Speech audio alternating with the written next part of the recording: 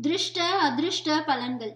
நமக்கு புரிகிற சயின்ஸ் நமக்கு பிடிக்கிற எத்திக்ஸ் நன்னெறி கோட்பாடு இவற்றுக்கு அனுசரணையாய் இருக்கிற ஆச்சாரங்களை மட்டும் எடுத்துக்கொண்டு மற்றவற்றை சூப்பர்ஸ்டிஷன் மூட நம்பிக்கை என்று தள்ளுவது தப்பு.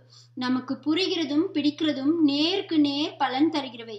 பல் தேய்க்காவிட்டால் துர்க்கந்தமாய் இருக்கிறது பல்லில் வியாதி வருகிறது. என்று பிரத்யக்ஷமாக தெரிகிறது. மதுபானம் பண்ணினால் புத்தி கெட்டு போகிறது குடிமோகத்தில் குடும்ப வாழ்க்கையிலே அநேக அனர்த்தங்கள் ஏற்படுகின்றன என்றெல்லாம் நமக்கு பிரத்யக்ஷமாக தெரிகிறது. அதனால் பல் தேய்க்கணும் மதுபானம் பண்ணக்கூடாது என்றெல்லாம் சாஸ்திரத்தில் சொல்லி இருக்கும் ஆச்சாரங்களை ஒப்புக்கொள்கிறோம்.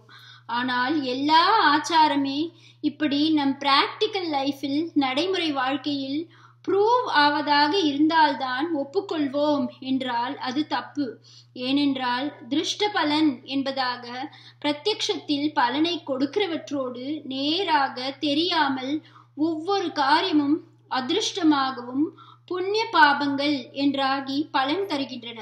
அதிர்ஷ்டம் என்றால் இங்கே லக் என்ற அர்த்தமில்லை. அதிருஷ்டம் அதிர்ஷ்டம் என்றால் கண்ணுக்கு தெரியாதது. அதாவது சிற்றறிவுக்கு புரியாதது என்று அர்த்தம். ஒரு காரியம் இந்த ஜென்மத்திலோ ஜென்மாந்திரத்திலோ அல்லது ஜென்மா இல்லாமல் ஆக்கி பரமாத்மாவிடம் சேர்ப்பதிலோ கொடுக்கிற பலன்களையும் ஆச்சாரங்கள் சொல்கின்றன. இதற்கு அதிருஷ்ட பலன் என்று பெயர். பிராத ஸ்நானம் பிரசம்சந்தி திருஷ்டாதிருஷ்ட பலம் ஹி தத் என்று சாஸ்திர வசன வச்சனம். இங்கே ரெண்டு விதமான பலன்களும் பிராத ஸ்நானத்தினால் விளைவதாக சேர்த்து சொல்லியிருக்கிறது. திருஷ்ட பலன் அதிருஷ்ட பலன் ரெண்டையும் பிராத ஸ்நானம் கொடுக்கிறது என்று அதை புகழ்கிறார்கள் என்றே அர்த்தம். சூரியோதயத்துக்கு முந்தைய மூன்றே முக்கால் நாழிகை. ஒரு நாழிகை என்பது இருபத்தி நான்கு மினிட் முக்கா மூன்றே முக்கால் நாழிகைக்கு பிராத்த காலம் என்று பெயர். அருணோதயம் என்றும் சொல்வதுண்டு.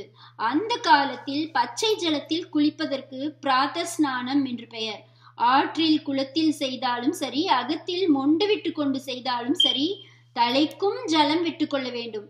தலைக்கு தினமும் ஜலம் விட்டுக்கொள்வது ஸ்திரீகளுக்கு அவசியமில்லை. விரத தினம் பித்ரு தினம் தவிர மற்ற நாட்களில் அவர்கள் தலைக்கு மஞ்சள் ஜலம் புரோக்ஷித்து கொண்டாலே போதும். பொதுவாக தலையோடு கால் பச்சை ஜலத்தில் காலங்கார்த்தாலேயே குளித்து விட வேண்டும். இதன் திருஷ்ட பலன் அதாவது பிரத்யக்ஷ விளைவு முதலாவதாக தேக சுத்தி உடம்பின் அழுக்கு போகிறதென்று நேரே தெரிகிறது. அதோடு அந்த வேளையில் குளித்து விடுவதால் தூங்கு மூஞ்சித்தனம் சோம்பல் எல்லாம் போய் உற்சாகமும் சுறுசுறுப்பும் உண்டாகின்றன.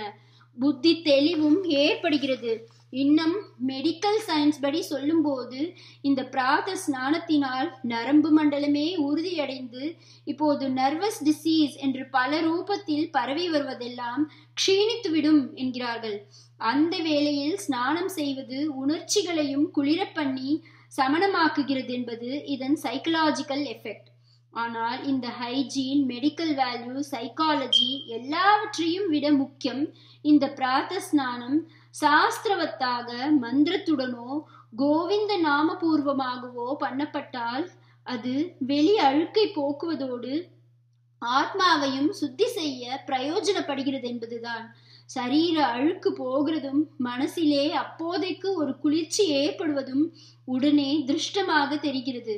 நர்வஸ் சிஸ்டம் ஸ்ட்ரெங்தன் ஆவது போக போக தெரியும். ஆத்ம சுத்தி ரொம்ப நிதானமாகத்தான் தெரியும். பிரார்த்த ஸ்நானமே மந்திரபூர்வமாக அல்லது பகவன் நாமபூர்வமாக விதிப்படி பண்ணப்படும் போது அதனால் நமக்கு ஏற்படுகிற புண்ணியத்தின் விளைவுகள் இதனால்தான் அது.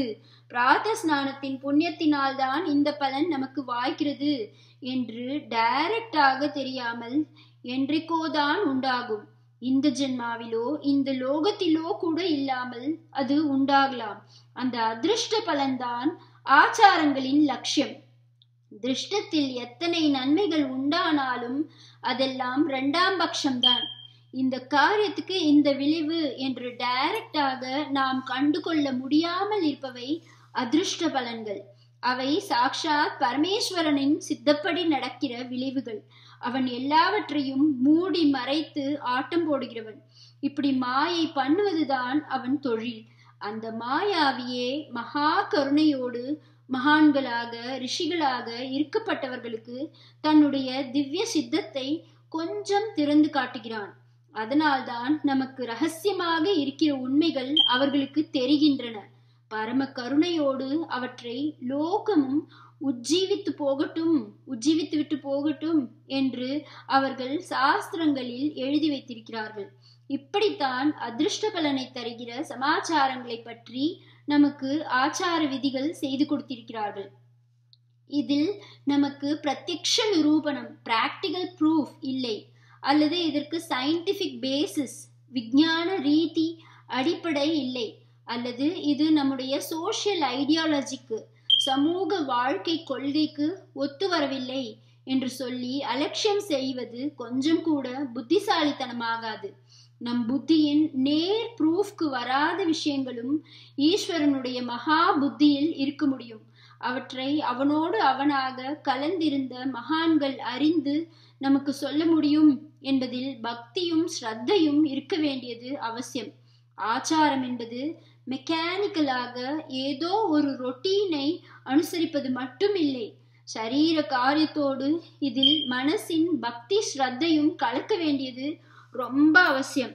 இல்லாது போனால் பலன் ஏற்படாது.